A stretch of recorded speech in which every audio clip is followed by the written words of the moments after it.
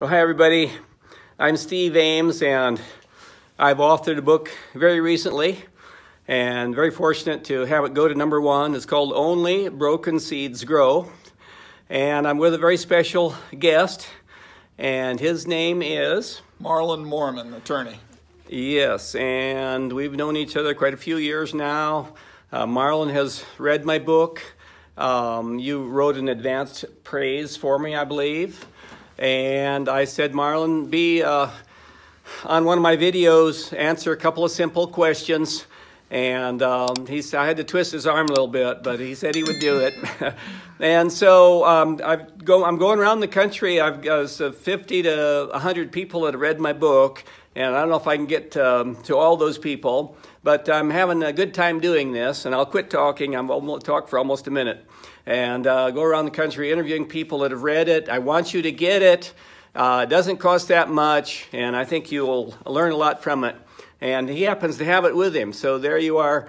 Only broken seeds grow. And Marlon, just uh, give us a simple comment. You read the book. What's your overall impression of it? I think I read the book several times.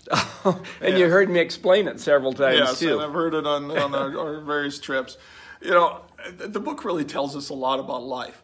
And one thing that I think people need to learn from that is disabilities do not equate to stupidity.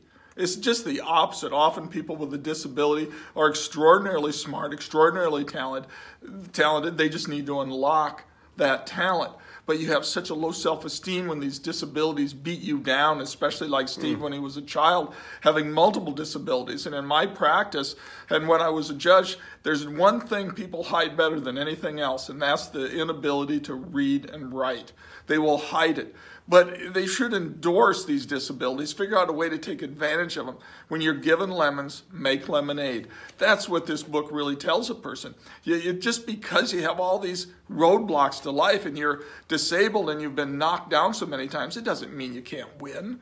I mean, that's what the book is about. A broken seed, we're all broken seeds. Everybody can win. Everybody has problems. You overcome them. And reading this book, I think, is one thing that really told me you know, I didn't have it so bad. I had problems, but you just think a lot more when you go through this book chapter by chapter. And it's a nice book because you don't have this big plot and storyline and a whole bunch of names to remember. Little short stories teaching you uh, little lessons on life, but they're big lessons. The big lesson is broken seeds. They can grow, mature, and become better than anything you could ever imagine. So don't let the disabilities get you down when given lemons, make lemonade.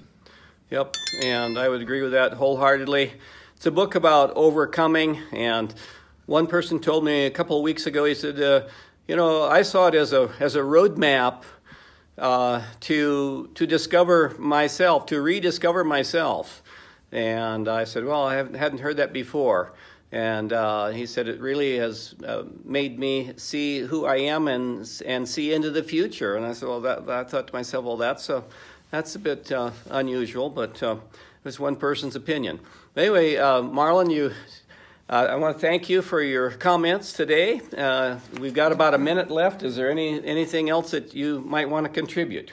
No, I, you know, it's it's a book you can pick up, read a couple of chapters, lay it down for a couple of weeks, pick it up and read a few more. It'd be a nice book for a road trip. You know, when you're going with somebody, have them read a chapter here and there on the way out and the way back. Uh, you know, it isn't isn't that expensive, and it's a nice read. And they're uh, only three, three, or four, uh, or one to three to four pages long. The, long. the longest story is maybe four pages, and they're 59 very short stories. So, like you said, you can read one or two or three or four and lay it down and pick it back up and and you know, you only need to learn one thing and keep one thing for life from this book to really make it worth its time. it's not just for entertainment. I think it's a self-help book. So, and I hope you enjoy it.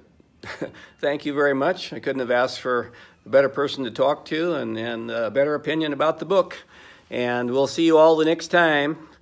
And take good care, everybody. Bye-bye.